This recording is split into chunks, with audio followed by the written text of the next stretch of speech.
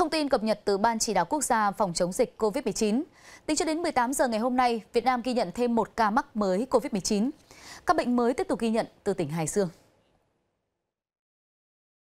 Theo đó, một ca bệnh tại thành phố Hải Dương là F1 của bệnh nhân số 2210 và bệnh nhân 2389 đã được cách ly từ ngày 14 tháng 2 năm 2021. Hiện bệnh nhân đang được cách ly điều trị tại Bệnh viện Giã Chiến số 3, Bệnh viện Đa khoa tỉnh Hải Dương chi nhánh 2. 41 ngày qua, nước ta có 893 ca nhiễm trong cộng đồng, được ghi nhận ở 13 tỉnh thành. Trong đó riêng Hải Dương có 709 ca dương tính. Các tỉnh khác đã trên 14 ngày không có ca mắc mới trong cộng đồng.